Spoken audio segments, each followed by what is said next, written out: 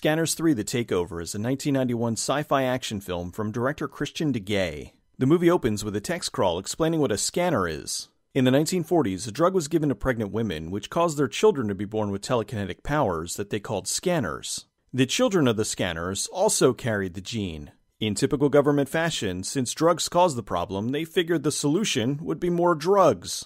It's Christmas Eve and some folks are celebrating. Sounds like they wanted to play Jingle Bells, but at the last minute decided, nah. Pretty sure it's public domain anyway. There's plenty of chairs around, but these douchebags decide to sit on the stairs and make it annoying for anyone who wants to go up or down. Joyce goes to answer the door, which has the most irritating buzzer ever.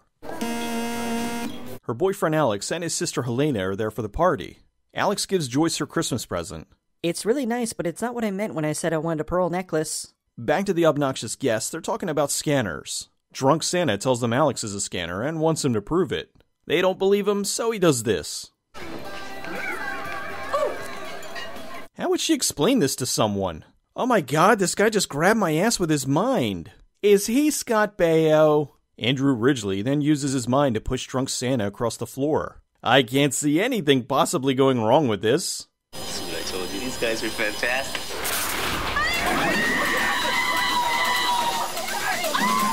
Well, Christmas is forever ruined for this kid. After the event, Alex has updated his look to Simon Le Bon. Even though the incident was declared an accident, Alex exiled himself to learn the ways of mortal combat in a monastery in Thailand. Two years later, Helena and Joyce are out shopping. While walking through the streets, Helena is hit with an Excedrin headache. If she gets horrible migraines whenever she's around large groups of people, why is she in the city? While walking through an alley, they run into some muggers. Uh, that wasn't hair gel. Helena uses her scanner powers to knock the trio into a trash truck where they turn into mannequins. Joyce stops the truck before it kills them, but then this guy unknowingly finishes the job. Heh, Mob usually dumps the bodies off on Tuesdays. Joyce takes Helena home. Her white pants are awfully clean for somebody who was just lying face down in an alley. Helena's adopted father stops in to see her. He's been working on a new treatment for scanners to stop the constant migraines so they can live a normal life. This is F3, and it'll solve all your problems. But you can't have it yet. He tells her he's been working with a Dr. Bowman, a doctor who tortured her when she was a kid. That night, she's having a nightmare being in an 80s music video and realizes she's out of pills. As a last resort, she uses one of the experimental F3s. It's not a pill, it's an LED light you stick behind your ear. This immediately makes the pain go away, but also removes her conscience. She goes to have dinner with her boss, who informs her that he took credit for a deal she brokered. Shouldn't she have the F3 behind her ear? Since the guy ripped her off, she makes a fool out of him and launches him into the piano. Helena stops to have her hair done and drops in to see Dr. Bowman. Once he figures out who she is, she blows him up scanner style. Security tries to stop her, but she makes quick work of him. Ow! The other scanner patients see this. Shouldn't there be a lock there? She begins her sales pitch to get all the other scanners to start using F3. Won't her father notice that all this is missing? Over in Thailand, Alex is talking to one of the monks about becoming a Sherpa. The monk teaches Alex to control his heartbeat, which I'm sure will come in handy later. Helena's having a naked hot tub party and proceeds to make her father drown himself. Oh, this is horrible, and yet somehow also relaxing. I guess those shoes really didn't fit. Halfway across the world, Alex senses his father dying. With her father dead, Helena can take over the company and make more F3. Michael travels to Thailand to tell Alex he needs to come back to the US. An evil scanner followed Mike and uses his mind manipulation to get the locals to kill him. Alex fights the scanner and blows him up. With Mike dead, Alex heads back to the US. Helena goes to the lab to talk to Joyce. She can't make more F3 because she doesn't know the formula. Later that night, Helena's messing around with a coworker. She discovers she can project her thought to the people on TV. It took three writers to come up with this line. Let's make it with a naked nasty. Oh, yeah. Let's make it with the naked nasty. Helena's in the middle of hostile takeovers with various pharmaceutical companies. She goes to visit her old boss and makes him dive into an empty pool. Alex finally makes it home. He goes to the garage to get his old motorcycle, which of course runs just fine after sitting around for two years. Alex goes to confront Helena. She tells him to investigate the Bauman Institute. He's greeted by a nurse with Gold Cup winning mall hair. She takes him into the back room and, please, dear God, start playing some Warrant. This guy must have really good health care. The men in black show up and accuse Alex of rape, and they beat the shit out of him. They hook him up to some laser torture device. This must be an early prototype for the Virtual Boy. He manages to fight it off and escape. Oh yeah! Well, this is going to be an interesting chase sequence. They chase him through a shipyard and he crashes into the bay. I sure hope that stunt guy got a nice bonus. They throw one of the guys in to make sure Alex is dead. Alex is pissed they wrecked his bike, so. That night, Joyce goes home and Alex is waiting for her. He fills her in on what happened, and then he fills her in. Are they making with the naked nasty? Alex tells Joyce about Helena, so she goes to the office to try to find some incriminating evidence on her. Okay, research. Evil, naughty scanner things. Alex is waiting for her and gets kicked off the roof. He fights back against the scanners and makes them turn on each other. I hate this bloody city. Alex falls several stories onto the hood of a police car and is still alive. Helena catches Joyce snooping. She lets her know she figured out the missing ingredient and they start mass producing F3.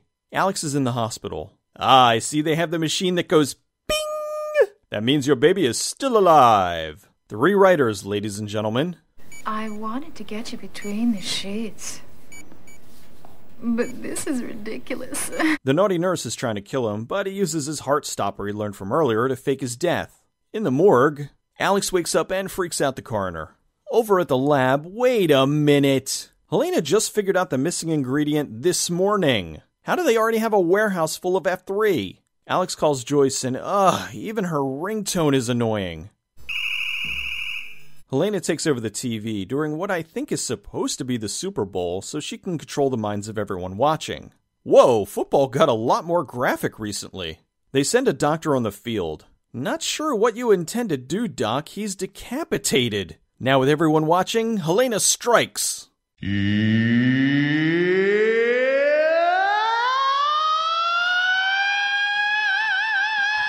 Alex breaks into the lab and launches a security guard into a fake wall. He kills the guards and rescues Joyce. Alex blows the lead henchman up and goes after Helena. Helena shoots him with one of those Christmas laser lights, but he remembered his monk training and fights back. Then the wacky face showdown begins.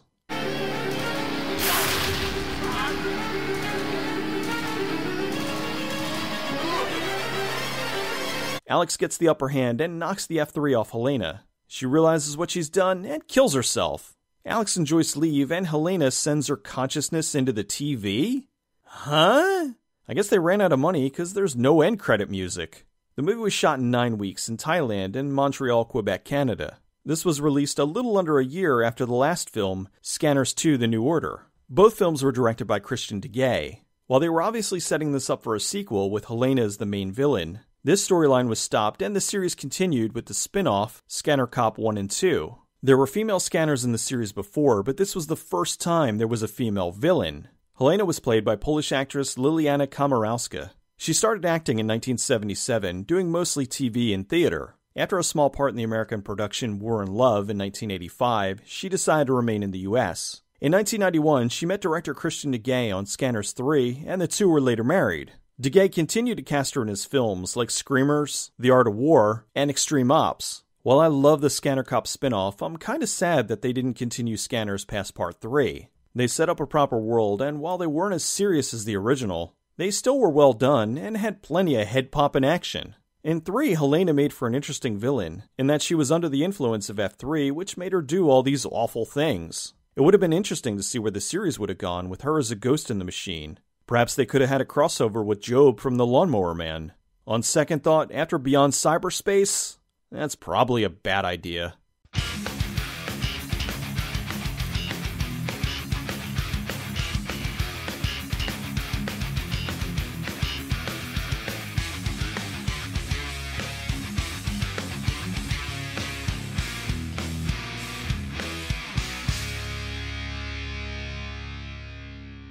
Mind if I use your phone?